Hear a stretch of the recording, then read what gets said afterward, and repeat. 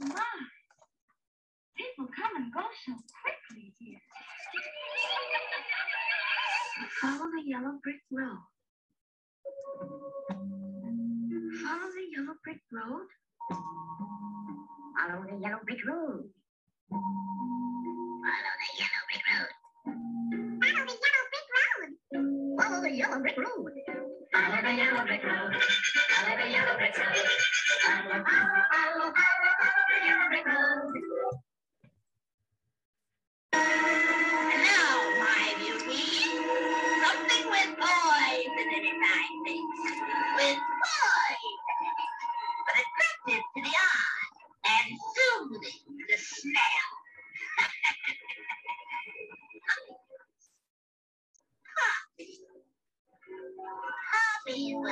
sleep.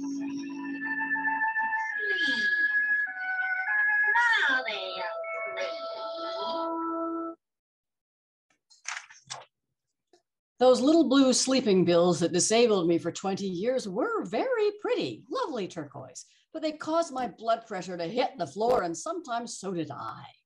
My BP was so dangerously low that some days I couldn't sit up, let alone stand. It felt like somebody crept in during the night and stole my spine. I'd wake up some mornings and think, crap, I'm a salmon. Time to swim upstream to spawn. I'd flop off the bed and wriggle and writhe my way towards the kitchen for sustenance. I knew if I could make myself laugh, I could survive anything. So I'd tell myself, come on, you're doing it for the sake of the species. Three giant salmon leaps to get a glass, salt, and water. One, whew, made it. Ah, why don't I remember this happens and put the salt and glasses low? Two, got it. Feels like I just climbed Everest. Three, oh, bro, water. Hallelujah, brother, the spawning is done. I'd drink the concoction down, and in half an hour, I might just be able to sit up. Once I fainted and fell backwards into a full bathtub. You don't wake up saying, Where am I? But try to make sense of something extremely odd. Like, why were all these shampoo bottles in the bathtub with me? Had the cleaning lady come in and not put them back? Then I realized one leg was dangling outside the tub with a painful scratch underneath, and my memory came flooding back. The last thing I recalled was standing by the counter, putting drops in my eyes in the opposite corner of the bathroom. How in the hell did I get here? I realize I must fairies because where I was when I passed out, I should have fallen backwards against the toilet, injuring or even breaking my back or neck, or I could have just slipped unconscious into the water and drowned. Instead, while passed out, cold, my good fairies had clearly urged Linda, I know you're unconscious, but don't fall yet. Go three steps sideways, four steps back. Now aim for the corner with the plastic shampoo bottles. There, it's safe fall because I didn't have a single bruise on me. I fell into a full bathtub with Epsom salt, so I floated instead of drowned. I broke my reading glasses badly as I fell, and they gouged a huge scratch in the bathtub, but a teeny tiny one in me.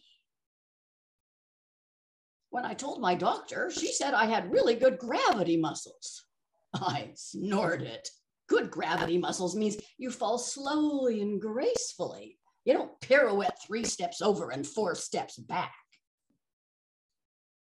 After my bath, I normally went back to bed for a tiny little four or five hour nap. I spent days, months, years in bed, an aging sleeping beauty or Rip Van Winkle, so exhausted I needed 12 to 17 hours sleep most of the time just to survive which was difficult. I had extreme pain radiating through my entire body from fibromyalgia, 13 car accidents, and worst of all, a yoga injury. I used to wish I could sleep standing on my head because it was the only place that didn't hurt. My face was swollen up and I looked like a hamster, and hamster face isn't a good look on anyone. My ankles were huge as footballs, my toes bright red sausages, and it was getting worse daily.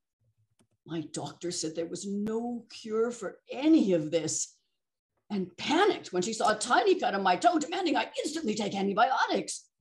it's not a good sign when your doctor freaks out.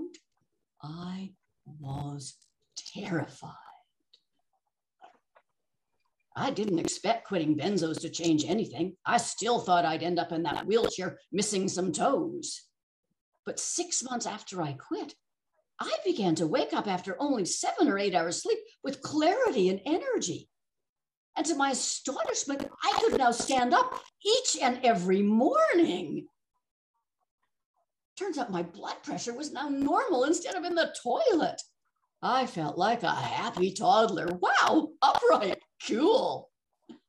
The pain, too, gradually diminished in most areas of my body. Heaven is absence of pain. Then I discovered there was a chemical called triclosan, also known as microban, in my toothpaste, a thyroid toxin that damages hormones, and I'd been brushing faithfully with it daily. I'd already replaced most toxic cleaners with eco-friendly alternatives, but in Canada, they don't have to label the ingredients. I threw my triclosan toothpaste out in high dudgeon, along with the meds, into the garbage and where they belonged. Six months later, I glanced in the mirror and I did a triple take because there were my cheekbones and my hereditary family nose. It's not a great nose, I know, but it's my nose. And I was thrilled to have it back. I was praying, I was three for three, and raised a long skirt that covered my ugly swollen feet and ballooning apples and, and, ankles, and stepped out of my slippers and shouted in triumph because there were the slim white feet that came with the original packaging and ankle bones so sharp you could cut glass on them. Due to a genetic mutation, I found out later, I don't process toxins normally we with these mutations are guaranteed to suffer the worst side effects of any prescription. Toxic chemicals and equally toxic prescription drugs combined had caused the huge drop in blood pressure and other health problems that had me crawling, fainting, and sleeping my life away. Remove the harms, and the body began to heal. When I saw my doctor next, she seemed simultaneously in shock and denial.